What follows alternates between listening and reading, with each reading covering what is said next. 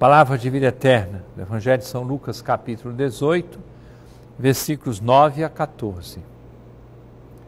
Naquele tempo, Jesus contou esta parábola para alguns que confiavam na própria justiça e desprezavam os outros.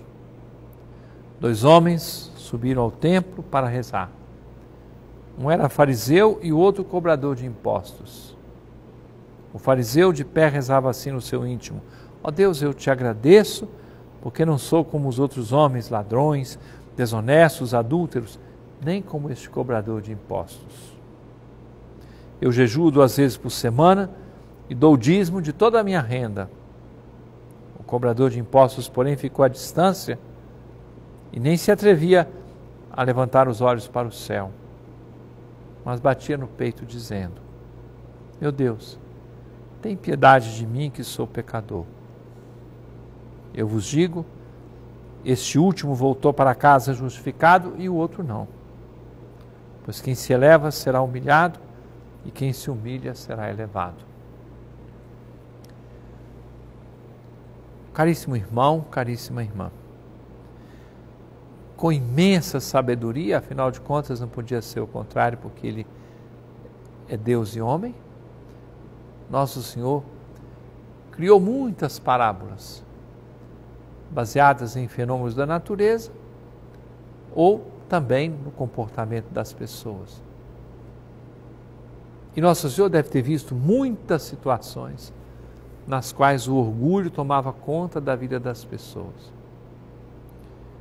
É claro que todas as gerações podem ter coisas semelhantes ao fariseu e ao publicano. Pode acontecer, e batamos no peito, que o fariseu esteja morando aqui dentro, ou dentro de você, e também o publicano more no coração de cada um de nós. Esperamos que more mais o publicano. O quê? Quer dizer que eu tenho que ser pecador, que eu tenho que ser traidor, que eu tenho. Não.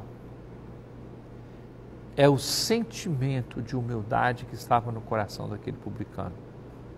Porque pecador também o outro era. No entanto, quando ele se coloca diante de Deus como dono da verdade, como cheio de direitos, estraga a relação com Deus. O pobre pecador, simples, pequeno, frágil, ele se abre totalmente para a graça de Deus. E o mundo muda dentro de si e muda em torno dele.